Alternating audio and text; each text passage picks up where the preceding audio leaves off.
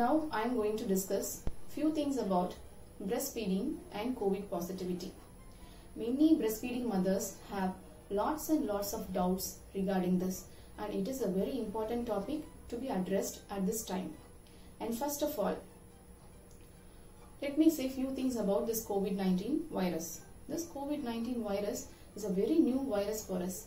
Unlike HIV and cytomegalovirus, which are readily transmitted through breast milk, honestly speaking, we really do not know whether this virus is transmitted through breast milk or not. But as per Indian scenario, I would say benefits of breastfeeding outweighs the risk of transmitting this virus through breast milk. So we encourage breastfeeding even when the mother is COVID positive. One reassuring evidence comes from a Chinese study where they have studied six breastfeeding mothers and they have found that this virus is not transmitted through breast milk. But the reliability of the study is very low because the sample size is very very low. It is only 6.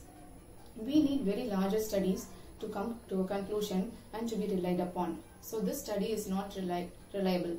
Okay. Now the common doubts mothers have are can I breastfeed my baby directly? Because I am COVID positive, can I breastfeed it? Primary concern is that not transmitting the virus through the breast milk but transmitting the virus through droplet infection to the baby while breastfeeding. Okay.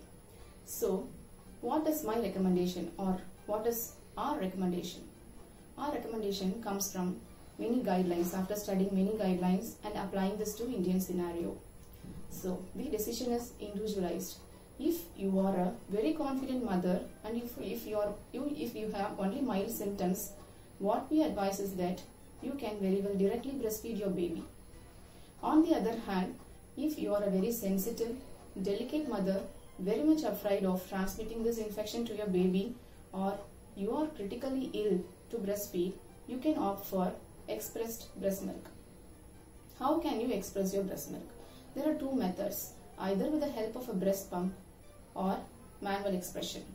If, you, if at all you are going to express your breast milk through a breast pump, you have to follow strict recommendations on cleaning this breast pump before and after the procedure.